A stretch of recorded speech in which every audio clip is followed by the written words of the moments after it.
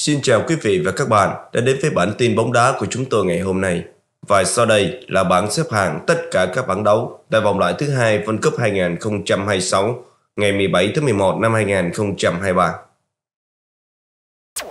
Bóng đá Đông Nam Á có 6 đại diện góp mặt ở vòng loại thứ hai World Cup 2026 khu vực châu Á. Tuy nhiên, tại lượt trận ra quân, không phải đội nào cũng được hưởng trọn vẹn niềm vui chiến thắng. Tại bảng F, cuộc chạm trán giữa hai đại diện Đông Nam Á là Philippines và Việt Nam khép lại với chiến thắng 2-0 nghiêng về phía những chiến binh sao vàng. Xuyên suốt hơn 90 phút dành sau thi đấu tại châu Âu của Philippines hoàn toàn lép vế trước thầy trò huấn luyện viên Philip Chuser. Vì vậy, kết quả này phản ánh chính xác diễn biến trên sân. Khốn khổ hơn cả có lẽ là Myanmar bảng B và Singapore bảng C khi phải hành quân tới sân của Nhật Bản và Hàn Quốc. Thậm chí, hai đội đó còn bị vùi dập không thương tiếc với cùng tỷ số 0-5. Cũng trong loạt trận này, một đại diện khác của Đông Nam Á được hưởng trọn vẹn niềm vui là Malaysia. Tiếp đón đối thủ được đánh giá cao Kyrgyzstan hạng 97 FIFA tại bảng D. Thầy trò huấn luyện viên Kim Ban-gun bị dẫn 3-1 cho tới phút thứ 72. Tuy nhiên, với sự cổ vũ của người hâm mộ trên chảo lửa Bukit Jalil, họ đã tạo ra màn ngược dòng không tưởng với tỷ số 4-3, qua đó tạm thời giành ngôi nhì bảng bằng điểm Oman nhưng kém hiệu số.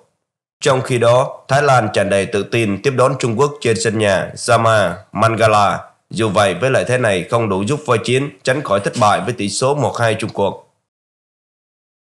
Những chiến thắng của Việt Nam, Malaysia chỉ là điểm sáng hiếm hoi. Trong ngày các đại diện Đông Nam Á thay nhau ngã ngựa, cũng ở bảng F, Indonesia phải hành quân tới sân của đối thủ được đánh giá cao nhất bảng là Iraq. Kết quả, thầy trò huấn luyện viên Sintazong không thể gây bất ngờ và hứng chịu thảm bại một năm. Kết quả các trận đấu khác như sau. UAE giành chiến thắng 4-0 trước Lebanon. Qatar có chiến thắng đậm 8-1 trước Afghanistan. Cô quét để thua Ấn Độ với tỷ số 0-1. Ả Rập Xút thể hiện sức mạnh của mình khi có được thắng lợi 4-0 trước Pakistan. Syria có được chiến thắng tối thiểu 1-0 trước Triều Tiên và Bahrain có thắng lợi 2-0 trước Yemen. Và sau đây là bảng xếp hạng tất cả các bảng đấu của vòng loại World Cup ngày 17 tháng 11. Bảng xếp hạng bảng A e ngày 17 tháng 11 có được 3 điểm cùng hiệu số cộng 7 ngày ra quân, Qatar đứng vị trí số 1. Vị trí thứ hai thuộc về Ấn Độ khi có được 3 điểm nhưng thua Qatar về hiệu số bàn thắng bại. Kuwait và Afghanistan chưa có được điểm số ngày ra quân, tạm thời đứng vị trí thứ ba và thứ tư của bảng A. Bảng xếp hạng bảng B ngày 17 tháng 11 có được 3 điểm cùng hiệu số cộng 5, Nhật Bản đứng vị trí số 1. Vị trí thứ hai thuộc về Syria khi có được 3 điểm hiệu số cộng 1. Chưa có được điểm số nào trong ngày ra quân, Triều Tiên, Myanmar tạm thời đứng vị trí thứ ba và vị trí thứ tư của bảng B. Bảng xếp hạng bảng C ngày 17 tháng 11 có được 3 điểm cùng hiệu số cộng 5 trong ngày ra quân, Hàn Quốc đứng vị trí số 1. Có được chiến thắng trước Thái Lan với tỷ số 2-1, Trung Quốc đứng vị trí thứ hai khi có 3 điểm hiệu số cộng 1. Hai đại diện của Đông Nam Á là Thái Lan và Singapore đứng vị trí thứ ba và thứ tư khi chưa có được điểm số nào. Bảng xếp hạng bảng D ngày 17 tháng 11 có được 3 điểm cùng hiệu số cộng 3, Oman đứng vị trí số 1. Với màn lội ngược dòng ngoạn mục của mình, Malaysia vươn lên vị trí thứ hai của bảng D khi có được 3 điểm hiệu số cộng 1. Chưa có được điểm số nào, Kyrgyzstan, Đài Loan đứng vị trí thứ ba và vị trí thứ tư. Bảng xếp hạng bảng E ngày 17 tháng 11 Iran đứng vị trí số 1 khi có được 3 điểm hiệu số cộng 4.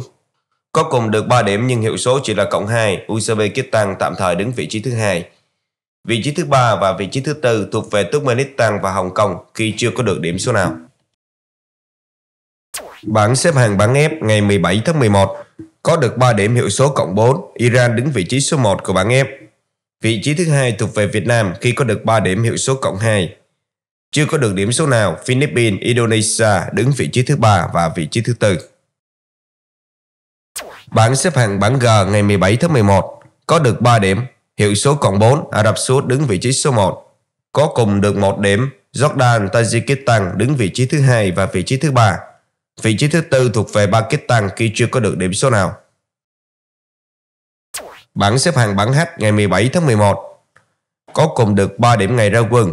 UAE Bahrain đứng vị trí số 1 và vị trí thứ hai của bảng H. Vị trí thứ ba và vị trí thứ tư thuộc về Yemen và Nepal khi chưa có được điểm số nào. Bảng xếp hạng bảng Y ngày 17 tháng 11 có được 3 điểm hiệu số cộng 7, Australia đứng vị trí số 1 của bảng Y. Có cùng được 1 điểm, Liban Palestine đứng vị trí thứ hai, vị trí thứ ba.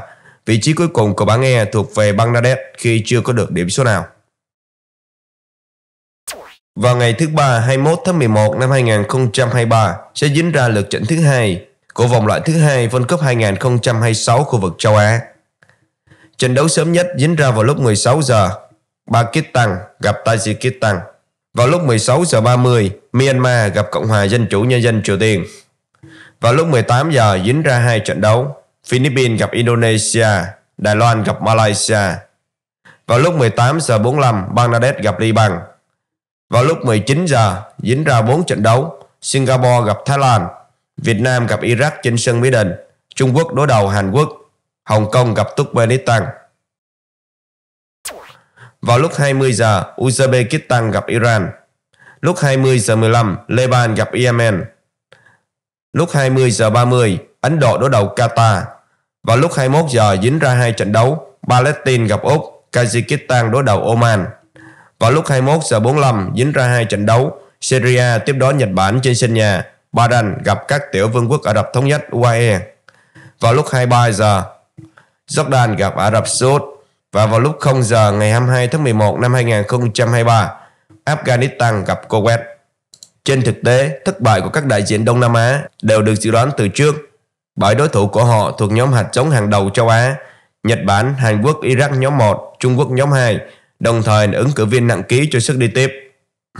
Ở lượt trận tiếp theo, Việt Nam và Malaysia mới lần lượt chạm trán các đối thủ cứng cựa. Có lẽ người hâm mộ không muốn hai đội hứng chịu thất bại nặng nề bởi điều đó sẽ ảnh hưởng tới tham vọng rút ngắn khoảng cách trình độ giữa khu vực Đông Nam Á và top đầu châu lục cũng như cơ hội đi tiếp của các đội bóng Đông Nam Á.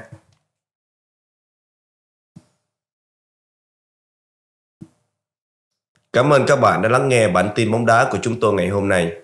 Các bạn hãy đăng ký kênh và rung chuông để nhận được những thông báo mới nhất về lịch thi đấu, kết quả cũng như bảng xếp hạng của đội tuyển Việt Nam tại vòng loại thứ hai phân cúp 2026 khu vực châu Á.